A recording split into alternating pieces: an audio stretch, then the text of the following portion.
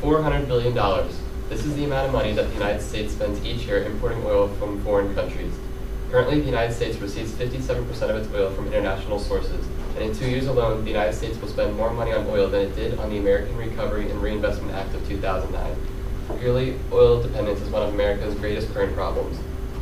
Many groups and organizations will state that the best way to reduce dependence on foreign oil is to invest and develop alternative renewable energy resources, such as solar and wind power. However, according to the United States Department of Energy, these sources are currently underdeveloped and not economically feasible for large-scale energy production. Wind power requires high initial investment costs, and energy produced by wind farms cannot be stored unless developers invest in expensive batteries. Solar energy also has several setbacks. Solar panels are extremely expensive, and solar power plants require vast expanses of land in order to be economically feasible. While these sources may play a large role in America's future, they are currently not suitable to provide national energy demands. What's even worse about America's dependence on foreign oil is that it consequently financially supports international terrorist organizations and foreign hostile national governments. Wealthy individuals and charities in the Middle East are currently the largest source of funding for international terrorist organizations. Take, for example, Saudi Arabia, which receives $55 billion each year from oil revenue. In Saudi Arabia, citizens must pay 2.5% of their income to charities as part of a national religious tax. While the majority of these institutions are credible, many serve as money laundering and terrorist financing apparatuses. What further complicates the problem is the fact that the flow of funds in Middle Eastern states is extremely difficult to track due to the use of the Hawala system. Through this system, money transactions are carried out verbally, leaving no paper trails to track the flow of funds. Because of this, there's a phenomenon of wealthy citizens sending money to charities that route money to terrorist organizations with little evidence afterwards.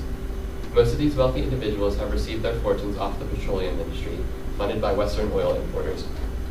These oil funds are also also financially support hostile foreign governments such as Iran and Venezuela. In 2005 alone, oil revenue in Iran increased by 25%. The wealthier Iran becomes, the easier it is for the country to snub U.S. efforts to stop Tehran from acquiring nuclear weapons. The greatest way to combat this international crisis is to reduce the disposable income and wealth generating capacity of foreign enemies. The largest way to implement this action will come from offshore drilling on the outer continental shelf of the United States. On March 31, 2010, President Barack Obama reversed remaining bans on offshore drilling. It is now up to individual state legislators to decide if offshore drilling will be allowed off the coast of their states. It is clear that legislators must act to allow offshore drilling. Not only will this action reduce international funding to terrorist organizations and foreign national governments, but it will provide an array of state and national economic benefits. Um, according to the American Energy Alliance, the outer continental shelf of the United States contains over 86 billion barrels of recoverable oil and over 420 trillion cubic feet of recoverable natural gas. If oil and natural gas production were to begin, the United States would receive over $8 trillion in economic output to the GDP. This production would add an extra 2% to the national GDP for the next 30 years. Also, offshore drilling would generate $1.6 trillion in, national, in federal tax revenue and over $0.6 trillion in state and local tax revenue.